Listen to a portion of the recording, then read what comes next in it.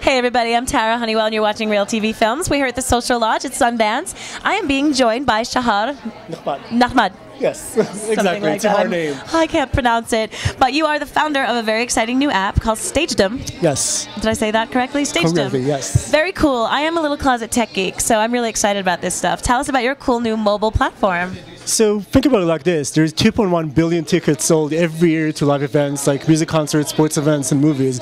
Each one of these tickets represent a fan that just told you that he loves your movie, loves the director, he has money, and is willing to spend his money on you.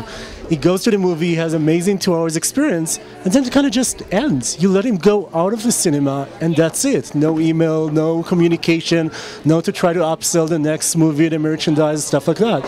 So that's basically what we do.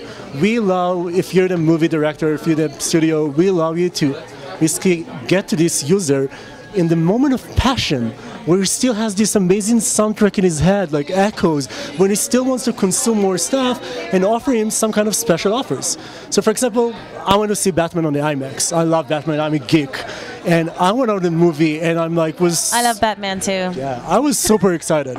I just really wanted to go to watch the movie again. And I kind of asked myself, why can't I take my iPhone out, click one button, pay $5, and get right now 24 hours access to different endings of the movie, director cut, missing scene? Why can't I get like a personalized photo of the movie signed by the main actor or something So like all things Batman, one touch away. Exactly. Everything that can extend this experience and at the same time, you know, give more opportunities to sell more branding, advertising, merchandise, etc. I love it. Yes. That's very exciting. So is this app out right now? Is it? Can Yes. I download it on my you my can iPhone? Download you can download it on the App Store and we're working right now with some really cool people in the music industry and we came to Sundance to start to enter this into Hollywood also. to Hollywood and music. Yes. Is it Android and Apple? right now it's just iOS. We're going to come out with Android in the next month.